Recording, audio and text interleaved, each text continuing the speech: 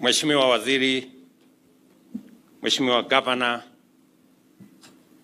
Katibu wa mambo ya kawi, waheshimiwa maseneta na wabunge, viongozi wote, ndugu watu wa Nakuru, hamjambo? Nakuru hoye! Mimi kwanza nataka nimshukuru Mungu kwa kutupatia nafasi hii. Tumefika hapa Nakuru County kwa mara nyingine tena. Niwashukuru viongozi na wananchi wa Nakuru kwa ushirikiano wenu na serikali yetu katika mambo ya maendeleo katika sehemu hii ambayo yanahusu Nakuru County na nchi yetu ya Kenya. And this morning, I am delighted to be with you at this highly significant milestone event here in Menengai, Nakuru County. Our nation is taking a big step forward in our quest to achieve the historic goal of a national electricity power grid that is 100% green by 2030. Aside from this important objective, the commencement of this project to establish a 35 megawatt power plant by Orpower 22 highlights our commitment to unlock Kenya's vast geothermal potential to drive economic growth. It is also a clear demonstration of our strength in mobilizing private sector investment to develop critical infrastructure and provide essential services, thereby accelerating economic transformation. So far, we have tapped only 950 megawatts, a small fraction of our geothermal potential of nearly 10,000 megawatts, leaving immense opportunities still untapped. And I want to encourage other investors alongside Kaishan, Orpower 22, Globeleq, Sosian, and all the others that there is still immense opportunity in the geothermal resources of Kenya. We've just touched less than 10%. So we have a whole 90% to go. And the government of Kenya is ready and willing and prepared to work with the private sector to unlock this potential. We call on the private sector to take full advantage of this and move more decisively and with the necessary speed. Although we are yet to utilize our full geothermal energy potential, Kenya is the sixth largest geothermal producer in the world. More impressively, geothermal energy accounts for over 50% of our national power mix, making our nation a global leader in this sector. The completion of the 105 megawatt Menengai project will elevate Kenya's global ranking to fifth overall globally, establishing beyond all contestation that economic growth and clean energy development can go hand in hand. There has been a proposition that clean energy cannot sufficiently drive economic growth because of its cost. But we are slowly demonstrating that it is possible to be clean and it is possible to develop. For a long time, the fact that geothermal energy is green, resilient, and sustainable has been the basis of our national strategy to expand our investments aimed at decarbonizing the national grid and driving our progress towards net zero. As a global leader in this space, Kenya continues to demonstrate how every action and every nation can achieve sustained, rapid, and transformative growth while remaining true to their climate action commitments. Our achievements today are hardly by chance or miracle. Rather, they are the result of consistent work and investment guided by a vision of national development committed to achieving prosperity while remaining mindful of the Earth's ecological sustainability.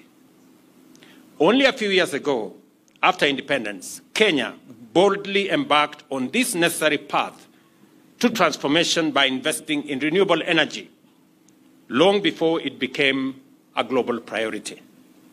Today, 73% of our installed capacity is from our renewable resources, contributing over 90% of the electricity distributed nationally. The Orpower 22 plant is the third facility within the Menengai 105 megawatt complex. Not far away, just here, we are continuing to expand our geothermal operations in Olkaria, Eburu, and Baringo, where over 75 megawatts have already been proven and will soon be added to the grid. Kenya's Rift Valley is establishing itself as a repository of abundant clean energy resources, a fact that should motivate our industrial and commercial sectors to invest confidently in the significant expansion of domestic manufacturing capacity. And I say this because we did commit ourselves that Nakuru is not only going to be the place where we are generating green energy from geothermal resources, but it is also going to be the industrial uh, county of Kenya. As I committed to the people of Nakuru that we are going to expand the facilities in our industrial city in Naivasha, we have just concluded the purchase by government of an extra 5,000 acres of land that will form the industrial complex here in Naivasha. We have moved step forward as I, I have this conversation with you. Next week, there will be a major conversation on the project that was launched when I visited the United States between Microsoft, G42 of UAE, and Kenya that will, for the first time, establish data centers in Naivasha powered by geothermal and that will cost close to a billion dollars of investment here in Nakuru County. This power generation speaks to our industrial capacity, our investment potential, and Nakuru County is going to be the epicenter of these activities.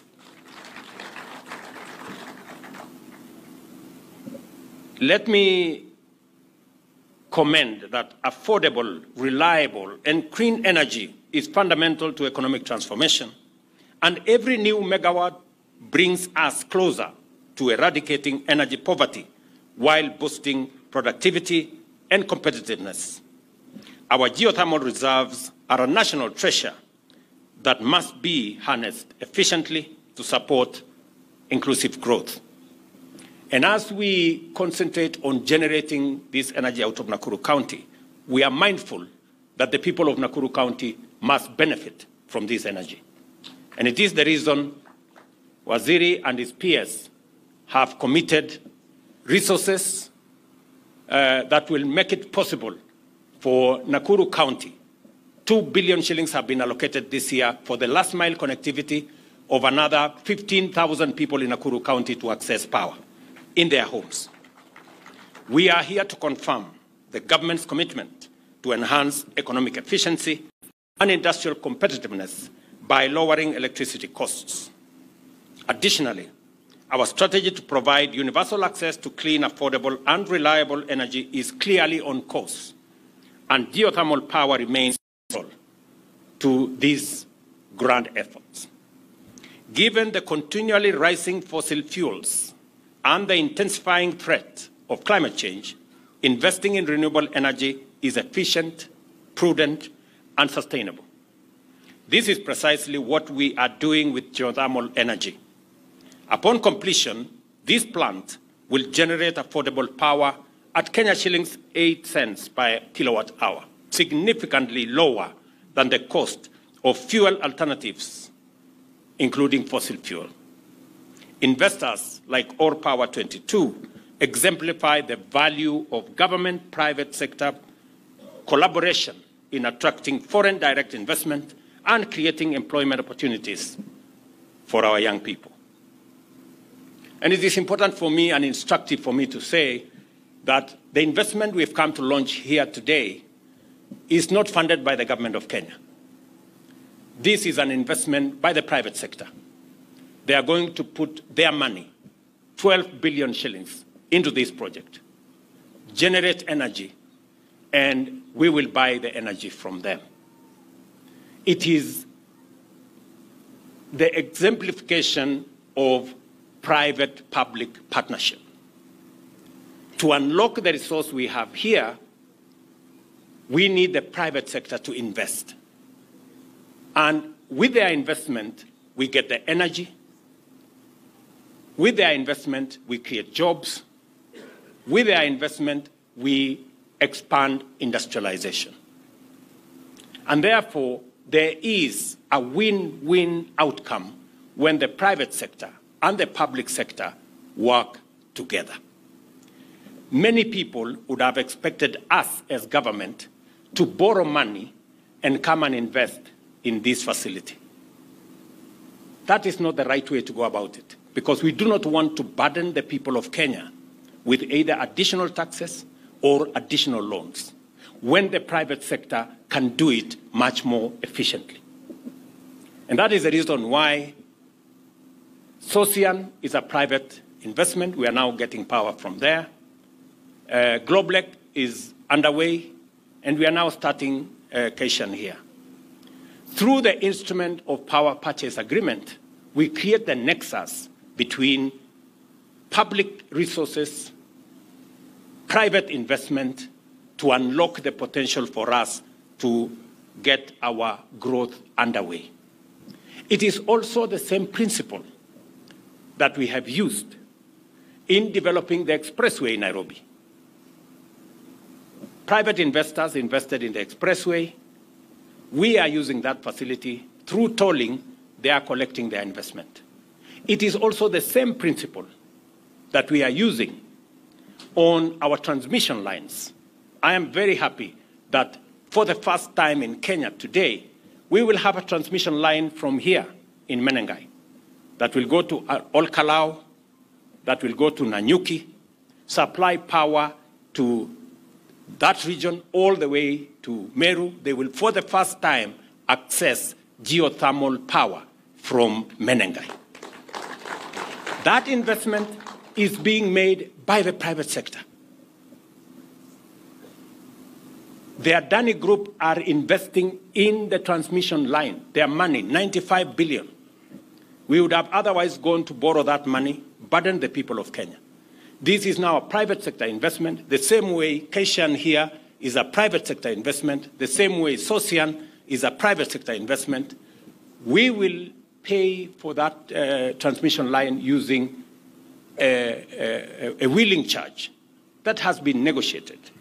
And it is important for us as a nation to appreciate that a partnership between public and the private sector gives us a win-win outcome where we can deliver public services and public goods using the efficiency of the private sector, investment of the private sector, as a way of supporting overall development in our country. I urge the Geothermal Development Corporation to develop and sustain a high capacity to offer effective leadership in driving Kenya's energy transition.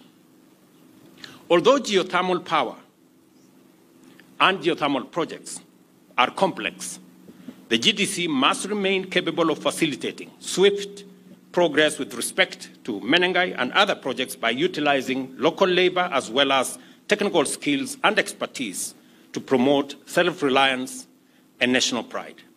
Additionally, the GDC must intensify innovative exploration, such as the use of geothermal heat for industrial processes and greenhouse farming. The development of the proposed integrated industrial park here in Menengai.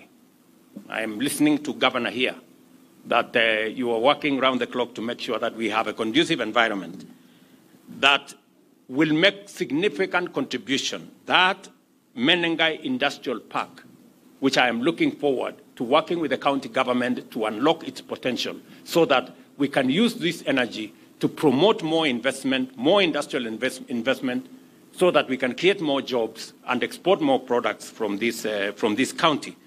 And it will make a significant contribution to the sustainability and global competitiveness of Kenyan manufacturing and Nakuru County and our country um, as well. I take this opportunity to congratulate Orpower 22 on the progress of your important investment and to express the appreciation for your strong vote of confidence in Kenya's economy. It takes a lot of confidence. It takes a lot of belief. You know, sometimes it is strange that investors believe in Kenya more than we do as Kenyans.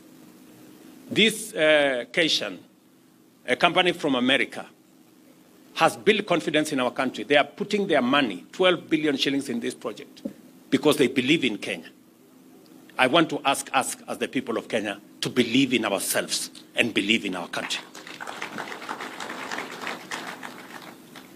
As a valued partner in our economic transformation, the government is committed to facilitate all powers efforts to ensure that your investment succeeds in supporting our national development. And as you requested, you have my support, the support of the government of Kenya, as you look at other opportunities. Because as I have said, we have just scratched, we have an additional 9,000 megawatts that is untapped.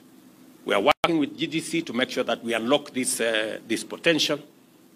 Um, we are in the process of having a conversation with Afrexim Bank. I have informed the governor of Nakuru so that we can build the infrastructure on the 5,000 acres we have acquired so that we can begin to interest more manufacturing capabilities into Nakuru County, into Naivasha um, Industrial Park, so that we can create more value, we can create more products, we can hire more young people, and we can make our country and county much more competitive. I am very proud of this moment that we are making steps as a country in the, in the right direction. We are dealing with the challenge of climate change, and I am very excited that today we will be signing the agreement that will produce in 24 months, that will produce the first hydrogen, the first ammonia, and the first fertilizer for, for our farmers from geothermal power here in Kenya. I am very happy that uh, Kaishan has announced that uh, they want to make it a reality, that in 24 months, did you say 24 months? Yes, 24 months, we will produce the first grain of ammonia fertilizer for our farmers here in Kenya.